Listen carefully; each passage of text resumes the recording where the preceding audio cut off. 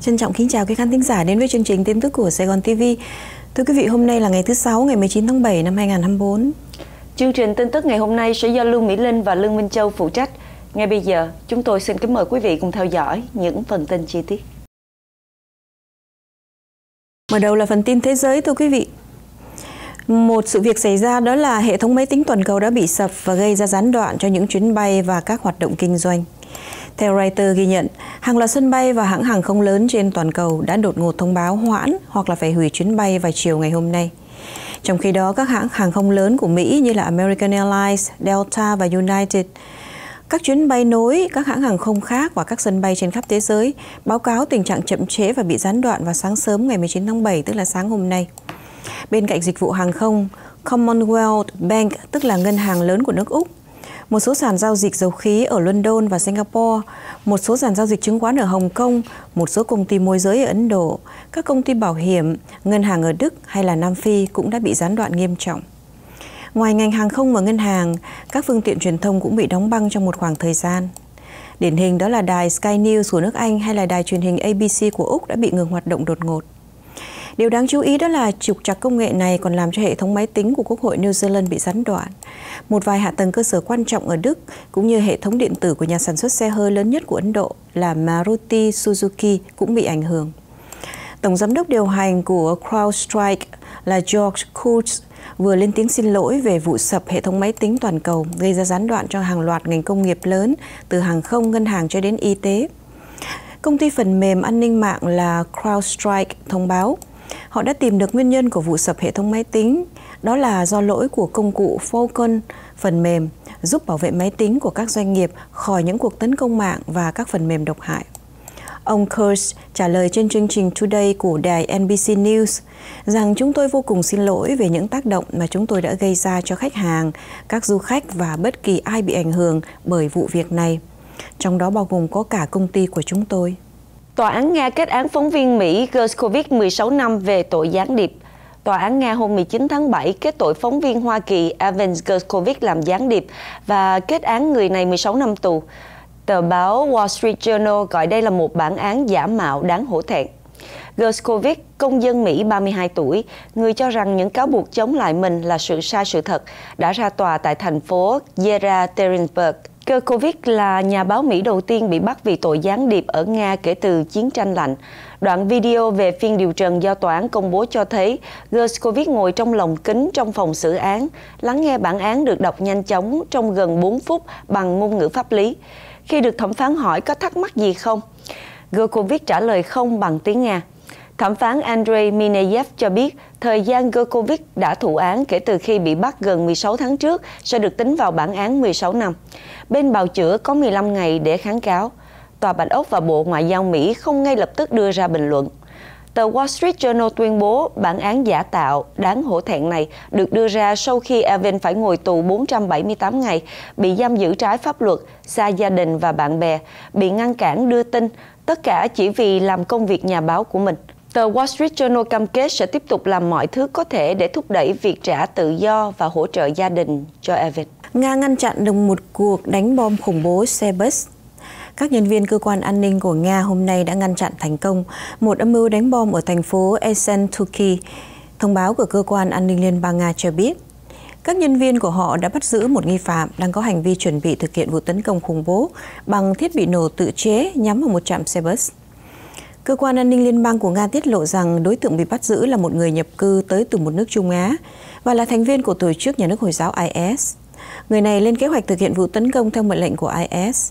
Sau khi hoàn tất vụ tấn công, người đàn ông này sẽ đến Syria để gia nhập vào IS. Cũng theo bản thông cáo trên, các nhân viên cơ quan an ninh liên bang của Nga đã phát hiện nhiều thành phần chế tạo thiết bị nổ từ xa được cất giấu ở bên trong garage của xe hơi. Ngoài ra, ở tại nơi cư trú của đối tượng này, các điều tra viên đã phát hiện ra một số tài liệu tuyên truyền tư tưởng cực đoan của IS. Vụ bắt giữ thành viên khủng bố IS nói trên diễn ra chỉ có một tuần sau khi lực lượng an ninh Nga phá một vụ tấn công nhắm vào một giáo đường ở thành phố Maikop, ở tại Cộng hòa Digital thuộc về nước Nga. Bộ Ngoại giao Mỹ đồng ý bán phi đạn Hellfire cho Cộng hòa Czech. Ngày 19 tháng 7, Cơ quan Hợp tác Quốc phòng Mỹ thông báo Bộ Ngoại giao Mỹ đã ủng hộ khả năng bán phi đạo Hellfire và các loại vũ khí khác trị giá 138 triệu Mỹ Kim cho Cộng hòa Czech. Số vũ khí này do Lockheed Martin và Bay System cung cấp. Theo cơ quan hợp tác quốc phòng Mỹ, giá trị công bố nêu trên là số tiền ước tính cao nhất cho hợp đồng và giá thực tế sẽ thấp hơn tùy thuộc vào yêu cầu cuối cùng của hợp đồng. Theo Bộ Ngoại giao Mỹ, số vũ khí này sẽ giúp tăng cường an ninh của Cộng hòa Czech với tư cách là đồng minh của Mỹ trong tổ chức Hiệp ước Bắc Đại Tây Dương NATO và sẽ không ảnh hưởng đến khả năng phòng thủ của Mỹ. Phi đạn không đối đất Hellfire có khả năng chống tăng tầm xa, được phóng từ trực thăng hoặc máy bay không người lái. Ngoài ra, phía Jack đang chờ đợi mua được phi đạn dẫn đường tầm ngắn chống hạm hạng nhẹ. Theo hãng tin CTK của Cộng hòa Czech, quân đội nước này đang trông cậy vào lô vũ khí trang bị cho trực thăng Viper mà họ mới mua của Mỹ để nâng cao năng lực quốc phòng. Thủ tướng Do Thái đã ngăn chặn quân đội lập bệnh viện cho trẻ em ở giải Gaza. Bộ trưởng Quốc phòng Yoav Galan ngày hôm qua thông báo, lực lượng phòng vệ Do Thái sẽ thiết lập một bệnh viện giã chiến ở đây, ở khu vực ngay gần giải Gaza để nhằm hỗ trợ cho trẻ em Gaza không thể điều trị trong cuộc chiến. Tuy nhiên, văn phòng của Thủ tướng Do Thái ngày hôm nay thì lại thông báo rằng ông Benjamin Netanyahu không phê chuẩn thành lập bệnh viện cho người dân Gaza ở trong lãnh thổ của Do Thái. Theo một giới chức của Bộ Quốc phòng Do Thái, cơ quan này đã xin ý kiến của ông Netanyahu từ hai tuần trước đây về việc đẩy nhanh việc di tản bệnh nhân, đặc biệt là các trẻ em ra khỏi giải Gaza.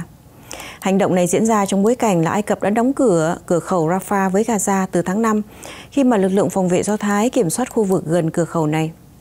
Rafah là cửa ngõ để cho hàng viện trợ vào trong khu vực để cho người dân Gaza đi ra bên ngoài điều trị y tế. Đây được coi như là dấu hiệu tiếp theo cho thấy dạn nứt gia tăng giữa Thủ tướng Do Thái và quân đội nước này về cách thức giải quyết xung đột ở Gaza. Trong bối cảnh Tel Aviv đang bị cộng đồng quốc tế chỉ trích vì gây thương vong lớn cho dân thường trong chiến dịch tấn công Hamas. Bộ trưởng Quốc phòng Yoav Gallant gần đây thúc giục ông Netanyahu đạt được thỏa thuận với Hamas để giải cứu các con tin còn bị giam ở Gaza, được cho là dẫn đến các cuộc tranh luận căng thẳng giữa hai nhà lãnh đạo. Bạo loạn tại thành phố Leeds, nhiều cảnh sát được điều đến hiện trường tại Anh Quốc. Ngày 19 tháng 7, một vụ bạo loạn đã xảy ra trên đường Hare Hills gần trung tâm Compton thuộc thành phố Leeds của Anh Quốc, khiến một xe bus bốc cháy và một xe cảnh sát bị lật. Cảnh sát vùng West Yorkshire cho biết họ đã tiếp nhận cuộc gọi phản ánh về một vụ lộn xộn trên phố Luxor. Nhiều cảnh sát đã được điều đến hiện trường. Một số đường phố gần khu vực bạo động đã bị đóng. Tuy nhiên, tình trạng hỗn loạn vẫn tiếp diễn. Một đoạn video trên mạng xã hội cho thấy rất đông người dân đã tụ tập trên đường phố.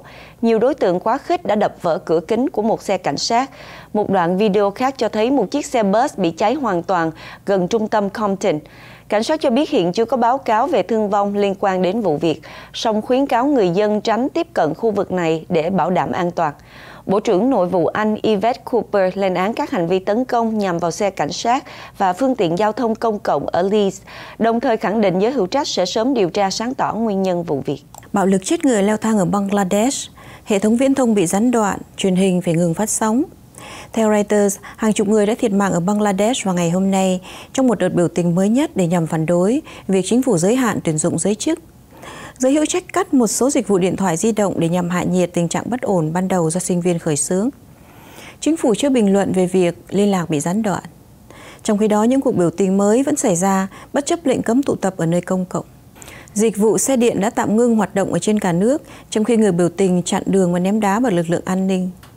Cảnh sát ở tại thủ đô Dhaka ngày hôm nay cấm mọi cuộc biểu tình ở nơi công cộng. Còn theo số liệu của đài AFP thì bạo lực đã khiến cho ít nhất 50 người tử vong. Phát ngôn viên Farouk Hossein của cảnh sát Dhaka cho biết, những người biểu tình đã đốt phá nhiều cơ sở như là văn phòng của cảnh sát và các cơ quan chính phủ. Trụ sở của đài truyền hình quốc gia Bangladesh cũng bị đốt vào ngày 18 tháng 7. Ông Hossein cho hay là khoảng 100 cảnh sát cũng bị thương trong các vụ đụng độ với người biểu tình. Các cuộc biểu tình bùng phát dữ dội trong tháng này để nhằm yêu cầu chấm dứt hệ thống hạn ngạch hơn một nửa số lượng giới chức cho các nhóm ủng hộ chính phủ của Thủ tướng Sheikh Hasina, người vừa thắng cử nhiệm kỳ thứ năm hồi tháng 1 năm nay. Và kính thưa quý vị, sau đây là phần tin Hoa Kỳ. Ông Trump lần đầu phát biểu sau vụ ám sát, nêu rõ chính sách tranh cử. Trong đêm bế mạc Đại hội Toàn quốc Đảng Cộng Hòa diễn ra tại thành phố Milwaukee, Wisconsin, cựu Tổng thống Trump đã có bài phát biểu quan trọng. Đây là bài phát biểu trước công chúng đầu tiên kể từ sau vụ ông bị ám sát bất thành tại tiểu bang Pennsylvania. Ông cũng đã ký văn bản chấp nhận đề cử làm ứng cử viên tổng thống của Đảng Cộng Hòa. Ông Trump kể lại chi tiết chuyện gì đã xảy ra vào ngày ông bị ám sát hụt và cho biết sẽ không nhắc lại lần thứ hai vì quá đau đớn để nhắc đến. Ông Trump cũng gửi thông điệp đến người dân tiểu bang Wisconsin, một tiểu bang chiến địa, rằng đảng Cộng hòa đã chi hơn 250 triệu Mỹ Kim tạo việc làm và phát triển kinh tế ở đây. Vì vậy, ông Trump hy vọng người dân Wisconsin nhớ điều này vào tháng 11 và bầu cho ông. Về vấn đề nhập cư, ông Trump cam kết sẽ thực hiện kế hoạch trục xuất lớn nhất trong lịch sử nước Mỹ. Nhiều màn hình tại sân khấu cũng trình chiếu bản thống kê về tình trạng nhập cư trái phép. Cựu Tổng thống nhiều lần nhấn mạnh chỉ đón chào những người nhập cư vào Mỹ hợp pháp.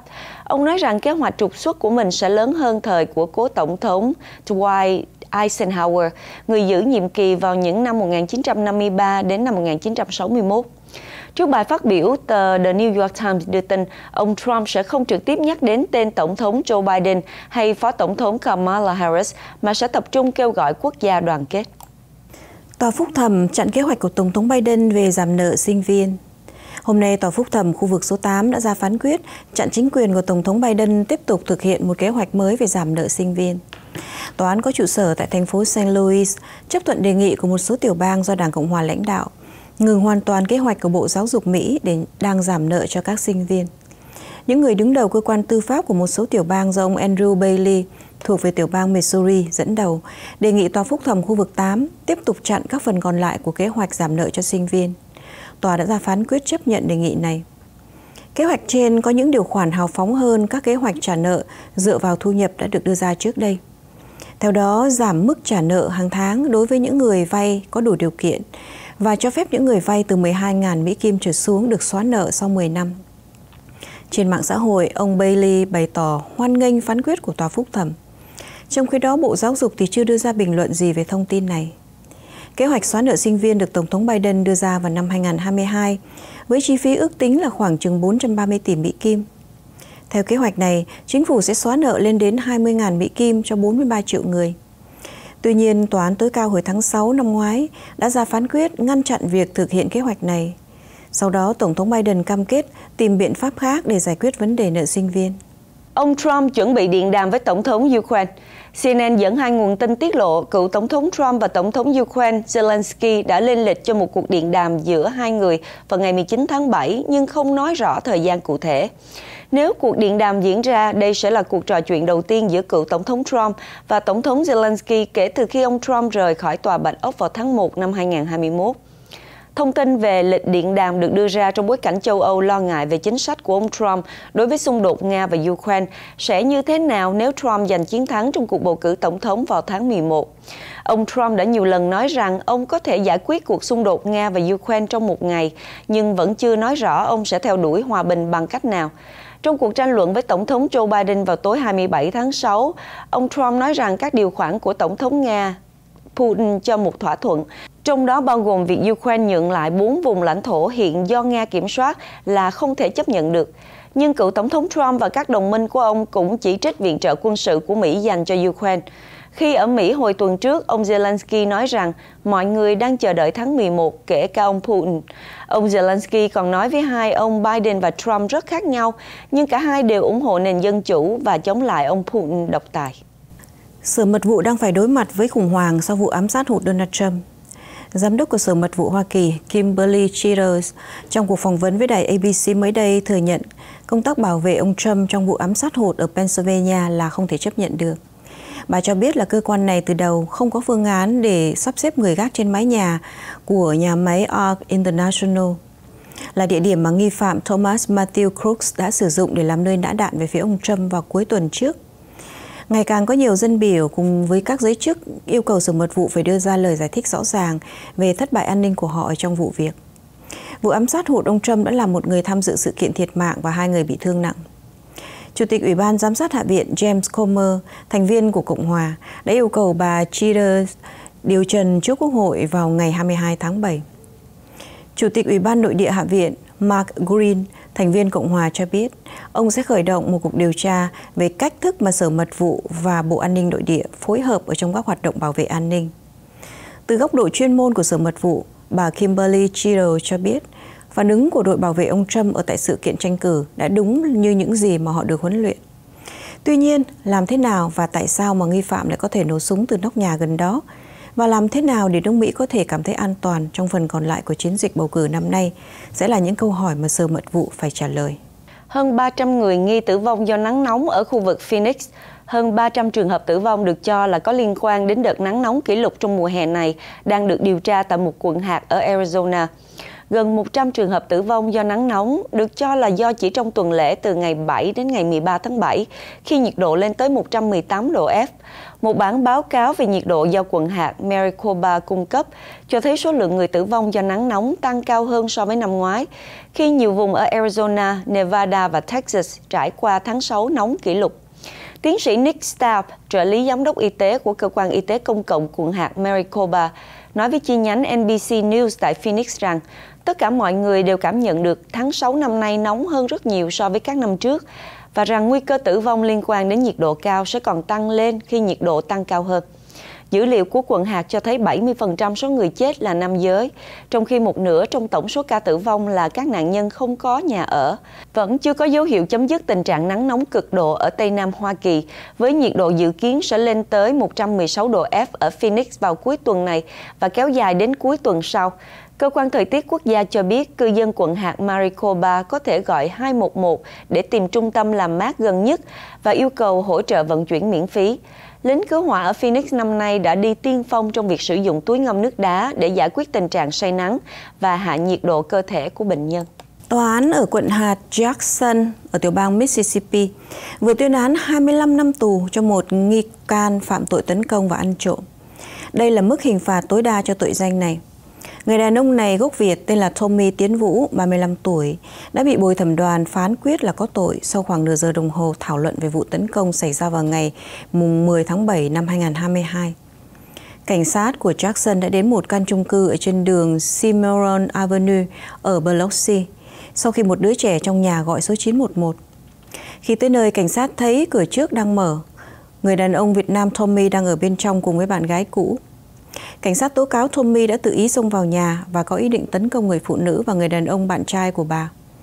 Tommy cũng giật chiếc điện thoại cầm tay của người phụ nữ, nhưng một trong hai đứa trẻ trong nhà đã nhanh trí dùng một cái điện thoại khác gọi điện thoại cầu cứu. Cảnh sát cho hay Tommy ban đầu chống cự nhưng rồi cũng bị còng tay giải đi. Công tố viên Angel Myers McIlrath nói rằng đây là một hoàn cảnh khủng khiếp và có thể hậu quả còn tồi tệ hơn thế nếu như đứa trẻ không lanh trí kêu gọi sự hỗ trợ của cảnh sát quận hạt Jackson. COVID-19 lây lan mạnh khắp nước Mỹ, nhất là vùng Tây Nam bao gồm California. Giữa lúc ngày càng có thêm nhiều người mắc COVID, giới chức y tế đang khuyến cáo tất cả người Mỹ chích ngừa vào mùa thu năm nay. Kết quả theo dõi nước thải của Trung tâm Phòng ngừa Dịch bệnh CDC cho thấy tỷ lệ lây lan COVID là rất cao ở 7 tiểu bang, gồm California.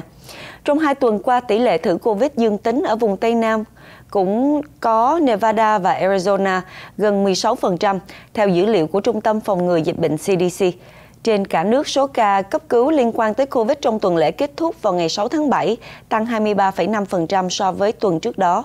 Tỷ lệ dương tính trong tuần lễ kết thúc vào ngày 6 tháng 7 là 11%. Tòa Bạch Ốc không nói rõ ông Biden nhiễm chủng COVID nào, nhưng hầu hết những ca khắp nước Mỹ hiện nay do biến thể flirt gây ra. Ông Andy Pecos, giáo sư vi trùng học và miễn dịch của Đại học John Hopkins, cho hay sau nhiều năm được chích ngừa và nhiễm bệnh, hầu hết người Mỹ hiện nay có thể hồi phục tốt hơn khi bị nhiễm COVID và không lo bệnh trở nặng nhiều như lúc trước. Tuy nhiên, để ngừa mắc COVID, giới chức y tế vẫn khuyến cáo tránh nơi đông đúc bên trong nhà, đeo khẩu trang và tránh tiếp xúc với người nhiễm bệnh. Và sau đây là phần tin Á Châu thưa quý vị. Người đứng đầu chính quyền quân sự của Miến Điện đang lâm trọng bệnh. Truyền thông Miến Điện ngày hôm nay đưa tin, người đứng đầu chính quyền quân sự Miến Điện là Min Sui, năm nay 73 tuổi, đang lâm trọng bệnh, khiến cho nước này càng thêm rối ren. Theo Reuters, ông Min Sui hiện nay mắc chứng sa sút tâm thần, vận động và suy dinh dưỡng, không thể thực hiện các hoạt động thường nhật như là ăn uống và nhận điều trị y tế chặt chẽ. Tờ Global New Light của Miến Điện cho biết ông Min Sui bị rối loạn thần kinh và bệnh lý thần kinh ngoại biên Tình trạng sức khỏe của ông này không cải thiện dù đã được phẫu thuật cả hai mắt và điều trị ở tại Singapore. Sau khi bà Aung San Suu Kyi và Tổng thống Win Min bị bắt vào năm 2021, thì ông Min Sui là phó tổng thống đã trở thành quyền tổng thống. Mặc dù chỉ mang tính biểu trưng, nhưng tình hình sức khỏe của ông có thể gây ra vấn đề liên quan đến hiến pháp. Khi Miến Điện không có người đảm nhận vị trí cấp phó chính thức dưới quyền của ông. Ông Richard Horsey, nhà phân tích ở tại Tổ chức Khủng hoảng Quốc tế, nhận định rằng Miến Điện sẽ không có người kế nhiệm trừ khi ông Min Wei từ chức. Thống tướng Min Aung Lang sẽ quyết định những vấn đề của đất nước, nhưng ông ấy không thể tự đề tự đề cử mình để trở thành lãnh đạo chính quyền quân sự Miến Điện. Tin tức này đến vào thời điểm mà Miến Điện đang phải vật lộn để ổn định đất nước. Động thái mới của Mỹ ở Thái Bình Dương Bộ Ngoại giao Mỹ vừa thông báo mở đại sứ quán tại đảo quốc Vanuatu ở Thái Bình Dương. Động thái này là một phần trong nỗ lực lâu dài của Mỹ nhằm tăng cường ảnh hưởng ở khu vực châu Á-Thái Bình Dương, cạnh tranh với Trung Quốc. Trong thông cáo, Bộ Ngoại giao Mỹ nhấn mạnh việc mở đại sứ quán tại Vanuatu thể hiện sự phát triển trong mối quan hệ song phương và cam kết mạnh mẽ của Mỹ đối với dân tộc Ni Vanuatu cũng như các đối tác trong khu vực Ấn Độ Dương-Thái Bình Dương. Trước đó, Mỹ đã mở đại sứ quán ở quần đảo Solomon và Tonga và đang lên kế hoạch mở thêm một đại sứ quán tại Kiribati chờ Quốc hội Mỹ phê chuẩn. Nỗ lực này nhằm tăng cường sự hiện diện ngoại giao và gắn kết với các nước láng giềng ở Thái Bình Dương. Trong bối cảnh Trung Quốc duy trì ảnh hưởng tại khu vực, Mỹ đã cảnh báo các đảo quốc Thái Bình Dương về việc nhận hỗ trợ từ lực lượng an ninh Trung Quốc. Vào tháng 2, Reuters đưa tin cảnh sát Trung Quốc đang làm việc tại Kiribati và đã được khai triển tại quần đảo Solomon từ năm 2022, theo một hiệp ước an ninh gây tranh cãi. Trước đó, Tân Hoa Xã ngày 5 tháng 4 đăng bài bình luận khẳng định Trung Quốc không có ý định tranh giành ảnh hưởng với bất kỳ quốc gia nào trong khu vực châu Á-Thái Bình Dương và kêu gọi xem Thái Bình Dương là nền tảng hợp tác toàn cầu thay vì chiến trường quyền lực chính trị. Công chúa Dubai lên mạng tuyên bố ly hôn chồng sau một năm đám cưới. Công chúa Sheikha Mara, con gái của tiểu vương Dubai Mohammed Rashid Al Maktoum, vừa thông báo ly hôn ở trên Instagram sau một năm kết hôn. Đây là hành động hiếm gặp ở các tiểu vương quốc Ả Rập Thống Nhất. Trên Instagram, công chúa Sheikha Mara đã tuyên bố ly hôn đến 3 lần và nhắn gửi chồng cũ hãy bảo trọng và ký tên bằng cụm vợ cũ của anh. Cô đã kết hôn với Sheikh Manam Mohammed Al Maktoum vào năm 2023 trong một buổi lễ hoành tráng và có một cô con gái ngay sau đó. Theo phong tục Hồi giáo, đàn ông có thể ly dị vợ bằng cách tuyên bố ly hôn ba lần, nhưng phụ nữ thì không được phép làm vậy. Các hình ảnh hai người đã bị xóa khỏi tài khoản Instagram của công chúa. Công chúa Shikamara 30 tuổi, thường xuất hiện ở những sự kiện thảm đỏ ở Dubai và có hơn một nửa triệu người theo dõi trên Instagram, nơi mà cô chia sẻ hình ảnh về sở thích và công việc thiện nguyện. Hiện nay cả công chúa và chồng cô đều chưa đưa ra bình luận chính thức về vụ việc này. Tiểu vương Dubai là Rashid Al Maktoum là một trong những người giàu nhất thế giới với khối tài sản ước tính là khoảng 18 tỷ Mỹ Kim. Hai tàu chở dầu lớn va chạm bốc cháy gần Singapore. Hai tàu chở dầu lớn vừa bốc cháy sau khi va chạm tại vùng biển gần Singapore, cảng tiếp nhiên liệu lớn nhất thế giới. Theo cơ quan hàng hải và cảng Singapore, tàu Hafnia Nile mang cờ Singapore và tàu Ceres 1 mang cờ Sao Tome và Principe đã va chạm cách đảo Piedra Blanca khoảng 55 km về phía đông bắc trên đường vào eo biển Singapore. Reuters đưa tin hai thành viên thủy thủ đoàn đã được đưa đến bệnh viện bằng trực thăng và những người khác được cứu bằng bè cứu sinh. Cơ quan hàng hải và cảng Singapore xác nhận tất cả 22 thành viên thủy thủ đoàn của Hafnia Nile và 40 thành viên trên tàu Ceres 1 đều an toàn. Các bức ảnh từ Hải quân Singapore cho thấy khói đen dày đặc bốc lên từ một trong hai tàu. Cơ quan môi trường Malaysia cho biết họ đã được thông báo để chuẩn bị ứng phó với nguy cơ tràn dầu. Theo dữ liệu từ Kepler và LSEG, tàu Hafnia Nile có trọng tải 74.000 tấn, đang chở khoảng 300.000 thùng naphtha. Hiện chưa rõ loại nhiên liệu mà Ceres 1 đang chở, nhưng tàu này có trọng tải 300.000 tấn và gần đây nhất đã chở dầu thô Iran. Khu vực này được biết đến là nơi các tàu bóng đêm sử dụng để chuyển dầu Iran, vi phạm các lệnh trừng phạt của Mỹ. Ceres 1 đã nhiều lần tham gia vận chuyển dầu Iran và Venezuela đến Trung Quốc. Singapore là trung tâm giao dịch dầu lớn nhất châu Á và các vùng biển xung quanh là tuyến đường thương mại quan trọng giữa châu Á, châu Âu và Trung Đông. Liên quan đến một vụ dẫm đạp khiến 121 người thiệt mạng ở tại Ấn Độ, vị giáo sĩ tên là Narayan Sakahari được biết đến như là cha thiện lành lần đầu lên tiếng về vụ dẫm đạp ở tại buổi thuyết giảng của ông ta ở tiểu bang Uttar Pradesh vào ngày 2 tháng 7, khiến 121 người thiệt mạng.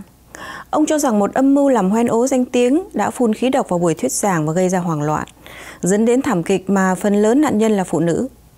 Cảnh sát Ấn Độ cho biết khoảng 250.000 người đã có mặt ở buổi thuyết giảng, vượt qua con số quy mô là 80.000 người được phép. Hỗn loạn bùng phát khi đám đông cố gắng chạm vào chân giáo sĩ và mặt đất mà nơi ông đi qua. Tuy nhiên, ông Harry bác bỏ điều này và không đưa ra bằng chứng cho tuyên bố của ông sau vụ dẫm đạp. Sau vụ dẫm đạp thì cảnh sát đã bắt giữ một số người tổ chức sự kiện, bao gồm có cả phụ tá chính của ông giáo sĩ. Ông giáo sĩ này vẫn chưa bị thẩm vấn hay là bị quy trách nhiệm. Dư luận Ấn Độ phẫn nộ, nhiều người kêu gọi bắt giữ ông Harry, bao gồm có cả gia đình của các nạn nhân. Phát biểu của ông giáo sĩ này bày tỏ nỗi đau, nhưng khẳng định rằng số mệnh không thể thay đổi, càng làm gia tăng sự phẫn nộ. Lai lịch của ông giáo sĩ này còn nhiều bí ẩn. Ông ngoài 60 tuổi và từng dính nhiều lùm xùm về đời tư như là lạm dụng tình dục, chiếm đất và truyền bá mê tín dị đoan. Ông giáo sĩ Harry có lực lượng cận vệ riêng và thường hạn chế tiếp xúc truyền thông. Một tài khoản ủng hộ ông trên YouTube với hơn 31.000 người theo dõi, mô tả tín đồ của ông rất trung thành. Trong các buổi thuyết giảng, ông thường ngồi trên sân khấu cùng với vợ, trong khi tín đồ phần lớn là phụ nữ ngồi bệt ở trên nền đất và chắp tay khấn vái. Khi kết thúc, tín đồ thường xô đẩy nhau để chạm vào chân ông để nhận phước lành. Nam Hàn mở loa phóng thanh gần biên giới với Bắc Hàn. Sáng 19 tháng 7, quân đội Nam Hàn thông báo đã tiến hành chiến dịch phát loa phóng thanh qua biên giới sang Bắc Hàn để đáp trả việc Bình Nhưỡng thả bóng bay chứa rác vào khu vực phía Nam. Các chương trình phát thanh diễn ra từ tối 18 tháng 7 đến sáng 19 tháng 7, đánh dấu lần đầu tiên phát loa phóng thanh sau 39 ngày kể từ ngày 9 tháng 6. Hội đồng Tham mưu trưởng Liên quân Nam Hàn cho biết phản ứng của quân đội Nam Hàn sẽ phụ thuộc vào hành động tiếp theo của Bắc Hàn. Từ tháng 5, Bắc Hàn đã thả hàng ngàn quả bóng bay chứa túi rác qua biên giới, gây thiệt hại tài sản và nhằm đáp trả việc các nhà hoạt động Nam Hàn thả truyền đơn chống Bình Nhưỡng. Chiến dịch phát loa phóng thanh của Nam Hàn bao gồm tuyên truyền, tin tức thế giới và nhạc pop Nam Hàn. Hành động này đã trở thành nguồn căng thẳng mới giữa hai quốc gia. Bắc Hàn đã chỉ trích mạnh mẽ các chiến dịch truyền thông của Nam Hàn và yêu cầu ngừng các hoạt động này. Chiến dịch loa phóng thanh đã bị tạm ngưng từ tháng 4 năm 2018 sau hội nghị thượng đỉnh giữa Tổng thống Nam Hàn Moon Jae-in và nhà lãnh đạo Bắc Hàn Kim Jong-un, nhưng đã được khôi phục vào ngày 9 tháng 6 để đáp trả vụ thả bóng bay của Bình Nhưỡng. Bản tin liên quan đến vụ tấn công mạng lớn nhất của lịch sử nước Úc khiến cho gần nửa dân số bị lộ thông tin. Nhà cung cấp thuốc kê đơn điện tử Medisecure mới đây thông báo là 12.9 triệu khách hàng đã bị đánh cắp dữ liệu, trong đó có một số lượng dữ liệu không xác định đã bị tải lên các trang mạng đen tức là dark web. Medisecure lần đầu tiên biết đến vụ tấn công mạng này vào hôm 13 tháng 4 khi phát hiện ra mã độc ransomware ở trên một máy chủ có chứa dữ liệu nhạy cảm về sức khỏe và cá nhân, sau đó công khai xác nhận vụ tấn công vào tháng 5. Medisecure cho biết những người ở Úc sử dụng dịch vụ giao thuốc theo đơn của công ty từ tháng 3 năm 2019 cho đến tháng 11 năm ngoái đã bị bên thứ ba đánh cắp dữ liệu.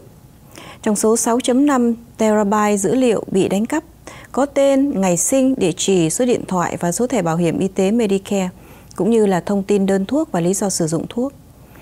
Một mẫu thông tin cá nhân đã bị lộ ở trên dark web, nhưng công ty không thể xác định được những cá nhân cụ thể bị ảnh hưởng do tính phức tạp của dữ liệu và chi phí để thực hiện việc đó.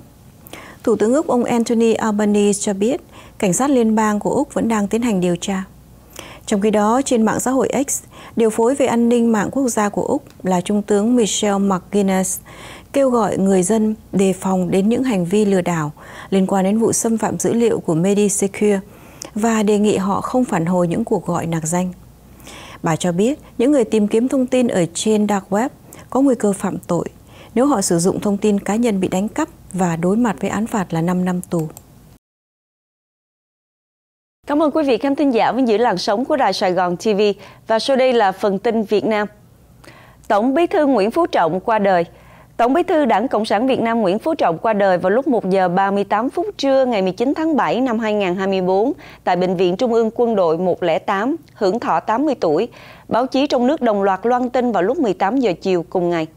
Ban bảo vệ chăm sóc sức khỏe giới chức trung ương thông báo, mặc dù được tận tình cứu chữa và chăm sóc, nhưng do tuổi cao và bệnh nặng, ông đã từ trần.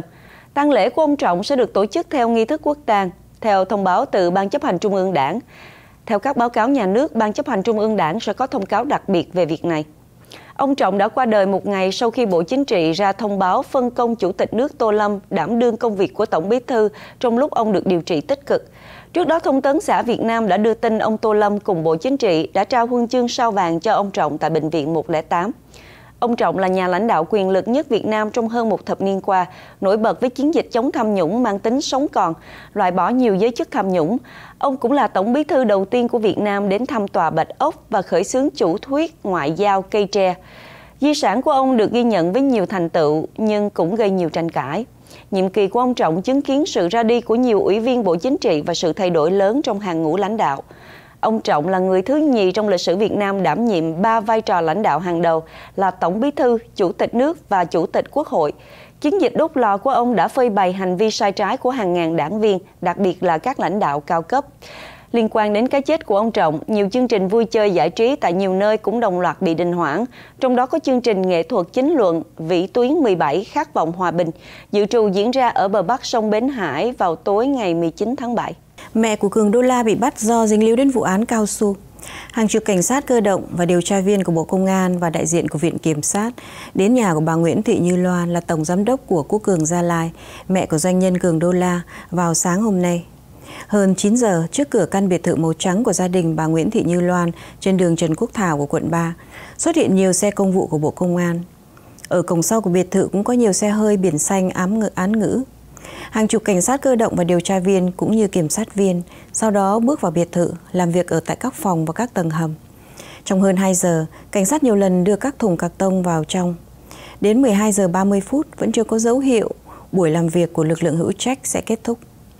Hiện nay, cơ quan điều tra chưa công bố nội dung làm việc ở tại nhà của bà Loan.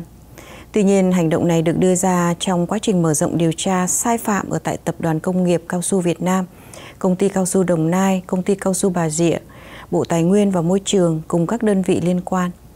Trong đó có sai phạm tại dự án khu đất 39, 39B, Bến Vân Đồn, phường 12, quận 4 của Sài Gòn. Đến nay đã có ít nhất 16 người liên quan với vụ án bị khởi tố. Gần nhất là 4 hôm trước, bà Nguyễn Thị Hồng, cựu phó chủ tịch của Sài Gòn, cựu phó trưởng Ban chỉ đạo 09 đã bị Bộ Công an bắt tạm giam về tội lợi dụng chức vụ và quyền hạn trong khi thi hành công vụ. Tòa tuyên án vụ buôn lậu vàng từ Campuchia về Việt Nam. Tòa án thành phố Sài Gòn chiều ngày 19 tháng 7 tuyên án 24 bị cáo trong vụ buôn lậu vàng từ Campuchia về Việt Nam qua cửa khẩu Tràng Riệt, Tây Ninh. Tất cả bị cáo đều bị kết án tội buôn lậu. Trong đó Nguyễn Thị Minh Phụng và Nguyễn Thị Ngọc Giàu nhận án nặng nhất là 18 năm tù. Nguyễn Thị Kim Phượng, em gái của Giàu bị phạt 15 năm tù. Nguyễn Thị Thúy Hằng 8 năm tù. 20 bị cáo còn lại nhận án từ 4 đến 12 năm tù. Hội đồng xét xử buộc các bị cáo nộp lại số tiền tương đương hơn 6 tấn vàng vào ngân sách nhà nước. Trong số này, Đặng Thị Thanh Hằng, chủ tiệm vàng Phúc Hằng, được xác định là mắt xích quan trọng nhất nhưng đã xuất cảnh từ ngày 26 tháng 9 năm 2022, hiện đang bị truy nã. Theo hồ sơ, tiệm vàng Phúc Hằng không được phép kinh doanh vàng miếng, vàng thỏi, nhưng Hằng vẫn giao dịch và đặt mua vàng thỏi nhập lậu của Phụng để bán kiếm lời bà Hằng chỉ đạo Đặng Nam Trung, em trai, và Trịnh Việt Châu, con rể cũ, cùng nhân viên hàng không để vận chuyển hàng lậu từ Sài Gòn ra Hà Nội. Từ ngày 3 tháng 8 đến 28 tháng 9 năm 2022, bà Hằng mua 294 kg vàng lậu từ Phụng trị giá hơn 15,7 triệu Mỹ Kim. Nhóm buôn lậu tổng cộng 6.150 kg vàng qua biên giới từ đầu năm 2022, hưởng lợi hơn 694.900 Mỹ Kim. Đường dây của Phụng cầm đầu buôn lậu 1.320 kg vàng trị giá hơn 71,7 triệu Mỹ Kim cơ quan tố tụng phát hiện các nghi can cấu kết với tiếp viên hàng không và nhân viên an ninh sân bay Tân Sơn Nhất để vận chuyển vàng, nhưng không xử phạt vì không có căn cứ. Hồ sơ liên quan đến sai phạm của cá nhân tại đồn biên phòng Tràng Riệt đã được chuyển sang cơ quan điều tra hình sự Bộ Quốc phòng để giải quyết. Cựu Chủ tịch Hội Nông dân huyện bị bắt sau 6 năm trốn truy nã. Cựu Chủ tịch Hội Nông dân huyện Triệu Sơn của tỉnh Thanh Hóa là ông Nguyễn Văn Bốn mới đây đã bị bắt ở Sài Gòn sau 6 năm trốn truy nã. Cơ quan Cảnh sát điều tra thuộc về Công an Thanh Hóa vào ngày hôm qua đã thông báo việc bắt giữ và áp giải ông Bốn từ Sài Gòn trở về Thanh Hóa để phục vụ cho công việc điều tra về tội lạm dụng tín nhiệm chiếm đoạt tài sản. Cơ quan Cảnh sát điều tra thuộc về Bộ Công an của Thanh Hóa cho biết, hồi năm 2018, ông Bốn bị kết tội lạm dụng tín nhiệm chiếm đoạt tài sản với khoản tiền là hơn 31.500 Mỹ Kim. Tuy nhiên, ông này đã bỏ trốn và đã bị lệnh truy nã. Theo thông báo của công an, ông Hoàng Văn Bốn đã 4 lần thay đổi tên và thường xuyên di chuyển chỗ ở để giấu tung tích. Đến ngày 17 tháng 7, ông bị bắt ở Sài Gòn và bị áp giải về Thanh Hóa. Toàn tỉnh Thanh Hóa còn có 134 nghi can bị truy nã. Trong số này có 86 người được cho là đang trốn ở trong nước. Hãng xe điện BYD của Trung Quốc công bố kế hoạch đưa xe ồ ạt vào Việt Nam, đe dọa VinFast. Hãng xe điện BYD của Trung Quốc vừa công bố kế hoạch thâm nhập thị trường Việt Nam qua việc mở rộng hệ thống phân phối xe tại quốc gia này sau khi đã mở các điểm bán đầu tiên vào tuần này, đe dọa hãng xe nội địa non trẻ VinFast. Theo kế hoạch được công bố, BYD sẽ mở 13 điểm bán ở Việt Nam vào ngày 20 tháng 8 và hãng xe hy vọng sẽ đưa con số này lên khoảng 100 điểm vào năm 2026. Ba mẫu xe đầu tiên được giới thiệu bao gồm xe Atto 3 sẽ tăng lên 6 mẫu vào tháng 10. Người phụ trách hoạt động của BYD Việt Nam, ông Võ Minh Lực, được Reuters trích lời cho biết, tất cả các mẫu xe của BYD cho thị trường Việt Nam sẽ được nhập cảng lúc này. Chính phủ Việt Nam cũng cho biết hồi năm ngoái, BYD đã quyết định sẽ xây dựng nhà máy sản xuất xe điện tại miền Bắc Việt Nam, nhưng kế hoạch này đã bị chậm lại. Ông Võ Minh Lực cho Reuters biết hãng đang thảo luận với một số địa điểm ở Việt Nam để thực hiện kế hoạch xây dựng nhà máy. Mẫu xe Atto 3 sẽ được bán khoảng 30.000 Mỹ Kim, cao hơn so với mức giá của xe VF6 của VinFast. Theo Reuters, VinFast kém thành công hơn so với BYD, hãng sản xuất xe điện lớn nhất thế giới. VinFast mới chỉ bán được 32.000 xe điện hồi năm ngoái và phần lớn số xe này là bán cho các công ty con trong tập đoàn. Trong khi đó, số xe mà BYD bán được trên toàn cầu trong năm 2023 là hơn 3 triệu chiếc. Hôm nay, Cảnh sát Giao thông thông tin và lực lượng cảnh sát đường thủy thuộc về Thủy đoàn 1 của cơ quan này phối hợp với Phòng Cảnh sát Giao thông Công an Thái Bình vừa phát hiện ra một phương tiện đường thủy vận chuyển khoảng 2.100 tấn than cám không có hóa đơn và chứng từ để chứng minh nguồn gốc. Trước đó vào lúc 20 giờ ngày 17 tháng 7, ở tại cây số 78, tuyến sông Hồng thuộc về thủy phận của xã Việt Hùng của tỉnh Thái Bình, Thủy đoàn 1 phối hợp với đội cảnh sát đường thủy thuộc về phòng cảnh sát giao thông công an Thái Bình đã kiểm tra một chiếc tàu đang vận chuyển khoảng 2.100 tấn than cám, di chuyển theo hướng từ thượng lưu xuống hạ lưu sông Hồng.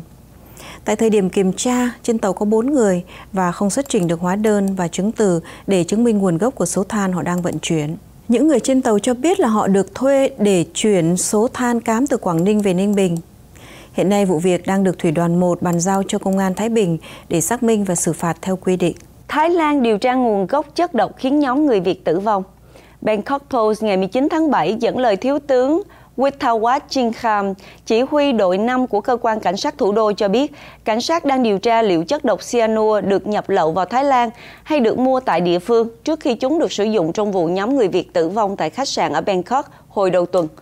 Ông Chinkham thông báo cảnh sát đang chờ kết quả của tất cả các cuộc kiểm tra pháp y trước khi quyết định có gọi bất kỳ ai đến để thẩm vấn thêm hay không. Cảnh sát cũng đang cố gắng liên lạc với em gái của một trong sáu nạn nhân. Người này đã về Việt Nam vào ngày 10 tháng 7. Ông Chanchai Sitipun, Giám đốc Bệnh viện Chulalongkorn hôm 18 tháng 7 xác nhận việc khám nghiệm tử thi của cả 6 người đã được hoàn tất. Ông cho biết nếu cảnh sát không tìm kiếm thêm thông tin, thi thể của các nạn nhân sẽ được bàn giao cho người thân của họ. Cảnh sát tin rằng Sherin Chong, một trong sáu người được phát hiện đã tử vong tại khách sạn Grand Hyatt Erawan ở Bangkok vào tối 16 tháng 7 đã đầu độc những người khác và sau đó tự sát với động cơ tiềm ẩn là một khoản nợ lớn. Thiếu tướng Thiradet Thomsuti trưởng phòng điều tra của Sở Cảnh sát Thủ đô MPP trước đó cho biết tại đồn cảnh sát Lumpini rằng cảnh sát đã thẩm vấn con gái của một trong các nạn nhân cũng như các nhân chứng khác. Ông nói rằng lời khai của họ rất hữu ích. Trước đó vào chiều ngày 16 tháng 7, 6 người được tìm thấy tử vong trong một căn phòng trên tầng 5 của khách sạn. Các nạn nhân được xác định gồm hai người gốc Việt mang quốc tịch Mỹ là Đặng Hùng Vân, 55 tuổi và Sherin Chong, 56 tuổi và bốn người Việt Nam gồm Nguyễn Thị Phương Lan, 47 tuổi, Trần Đình Phú, 37 tuổi, Phạm Hồng Thanh, 49 tuổi, Nguyễn Thị Phương, 46 tuổi. Một người Việt thứ bảy đã đặt phòng bên cạnh. Cảnh sát tin rằng cô là em gái của một trong những nạn nhân. Người này đã rời khỏi Thái Lan vào ngày 10 tháng 7 và dường như không liên quan gì đến vụ việc. Độ tuổi kết hôn trung bình ở Sài Gòn đã vượt qua 30 tuổi. Độ tuổi kết hôn trung bình lần đầu ở Sài Gòn là 30.4 tuổi. Đây là mức kỷ lục của Việt Nam, góp phần tạo thêm mức sinh thấp và đẩy mạnh à, già hóa dân số. Thông tin đã được Tổng cục Thống kê công bố trong tháng 7. Theo đó, những năm vừa qua, độ tuổi kết hôn ở giới trẻ của Sài Gòn luôn cao nhất ở cả nước, vượt xa nhiều tỉnh thành khác. Nay lần đầu tiên vượt qua con mốc 30 tuổi. Con số này có xu hướng tăng lên liên tục từ 2019. bình quân mỗi năm tăng 0.7 tuổi. Tuổi kết hôn trung bình lần đầu của cả nước cũng tăng dần trong thời gian qua, hiện nay ở mức là 27.2 tuổi. Ông Phạm Chánh Trung, tri cục trưởng của dân số kế hoạch hóa gia đình của Sài Gòn cho biết, những nghiên cứu ghi nhận ngày càng nhiều người lựa chọn cuộc sống độc thân, không kết hôn, không sinh con do gặp khó khăn về tài chính. Họ muốn theo đuổi sự nghiệp và khao khát tự do. Ngoài ra, người trẻ không mặn mà kết hôn do còn ảnh hưởng từ các câu chuyện gia đình đổ vỡ, chưa tìm kiếm được mẫu hình lý tưởng. Còn ở Sài Gòn, cần nhiều nghiên cứu để có thể đưa ra những kết luận chính xác về nguyên nhân người trẻ kết hôn muộn. Và sau đây là những phần tin địa phương thưa quý vị. Một vụ hỏa hoạn vừa xảy ra ở tại trạm trữ điện bằng pin ở thành phố Santa Ana, khiến cho khu kỹ nghệ gần đó tạm thời di tản. Giới chức cứu hỏa cho biết, theo nhật báo Oxy Register đưa tin. Theo đó, lửa bùng lên tại trạm trữ điện ở trong khu 1.300 đường East Warner. Ông Sean Doran của cơ quan cứu hỏa quận Cam loan báo. Khi lính cứu hỏa đến nơi, ít nhất là một bộ pin đang bốc cháy, nhưng không rõ là trước đó lửa có lan ra không. Khu vực từ đường East Warner tới đường East Street của Gertrude và từ đường Grand tới South Standard đã được di tản. Theo cơ quan cứu hỏa Orange County, ông Doran cho biết là chưa biết là trong trạm này có gì, nhưng vì đám khói để đề phòng cảnh sát của Santa Ana phải di tản khu vực. Trong thông cáo cập nhật sau đó, cơ quan cứu hỏa Orange cho hay không cần di tản nữa sau khi lính cứu hỏa kiềm chế được đám cháy và khói tan bớt. Hiện nay vẫn chưa có tin gì về thương vong.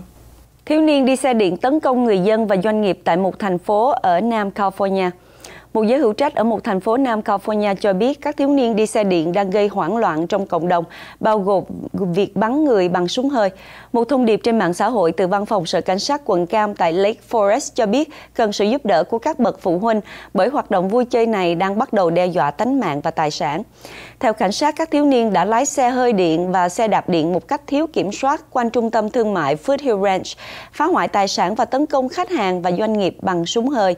Những tai nạn này đã khiến cảnh sát tăng cường tuần tra và một bức ảnh được chia sẻ trên Instagram cho thấy hai chiếc xe hơi điện mà họ mới thu giữ. Sở cảnh sát cho biết các loại xe hơi điện như Suron, Talaria 79 Bike chỉ dành cho sử dụng ngoài đường cao tốc và không hợp pháp trên đường phố. Cũng theo cảnh sát, bất kỳ hành vi phạm tội nào sẽ được điều tra theo đúng pháp luật. Các vụ việc liên quan đến thiếu niên đi xe điện đã tăng đột biến ở Nam California mùa hè này. Cảnh báo tại Lake Forest xuất hiện một tháng sau khi thành phố Huntington Beach gần đó thông qua một loạt hạn chế mới về việc sử dụng xe điện do gia tăng các khiếu nại và chấn thương. Xa hơn về phía Bắc, một nhóm ít nhất 12 người đi xe điện đã khiến du khách tại Hermosa Beach Pier hoảng loạn khi họ bắn pháo bông bất hợp pháp vào đám đông. Nghi phạm bị bắt sau vụ tấn công tình dục phụ nữ đi bộ cùng với con nhỏ sơ sinh ở tại khu cao cấp ở Los Angeles. Một người đàn ông vừa bị giam giữ sau khi bị tình nghi là tấn công thể xác và tình dục một phụ nữ đang đi bộ cùng đứa trẻ mới sinh 4 tuần tuổi ở Brentwood vào đầu tuần này. Nạn nhân là cô Kamina Lu cho biết, vụ tấn công xảy ra ngay sau khi cô đẩy chiếc xe đẩy có con gái sơ sinh của cô ở tại khu vực 900 đường South Gretna Greenway. Chưa bao giờ cô ngờ điều này có thể xảy ra đặc biệt là chỉ một tháng sau khi sinh con. Nạn nhân miêu tả kẻ tấn công là một người đàn ông da trắng khoảng 20 tuổi, gầy và tóc nâu, không mặc áo. Hắn tiếp cận cô từ phía sau, nắm lấy hông cô và bắt đầu tấn công tình dục. Cô Lu cho biết là cô đã bị đấm vào mặt, bị rách môi, có vết cắt ở dưới mắt và bị thương da đầu, phải khâu lại. Con của cô thì không bị thương trong vụ tấn công này. Cô Lu nói thêm là điều khiến cho cô sợ nhất là ngay trước khi kẻ tấn công cô bỏ chạy thì hắn còn liếc nhìn vào chiếc xe đẩy của cô trong một giây. Officer Miller từ cảnh sát Los Angeles xác nhận rằng có người bị bắt giữ liên quan đến vụ tấn công nhưng không cung cấp thêm thông tin chi tiết. Và kính thưa quý vị, sau đây là một thông báo. Thư mời đêm 45 năm quốc tế cứu thuyền nhân được tổ chức tại hội trường báo Người Việt vào 7 giờ tối thứ Bảy ngày 20 tháng 7 Nội dung, thuyền nhân Việt Nam tỏ lòng biết ơn Hội nghị quốc tế thuyền nhân Geneva ngày 20 tháng 7 năm 1979, kể chuyện vượt biên, trình diễn các ca khúc vượt biển với các tiếng hát đặc sắc. Sự hiện diện của quý vị là niềm khích lệ cho ban tổ chức. Để tiện việc sắp xếp, xin vui lòng phúc đáp qua email chi phúc trần at yahoo.com. Thay mặt ban tổ chức, Trần Chi Phúc. Thông báo vừa rồi cũng đã kết thúc chương trình tin tức của Đài Sài Gòn TV. Xin kính chúc quý vị một buổi tối an lành. Xin kính chào tạm biệt.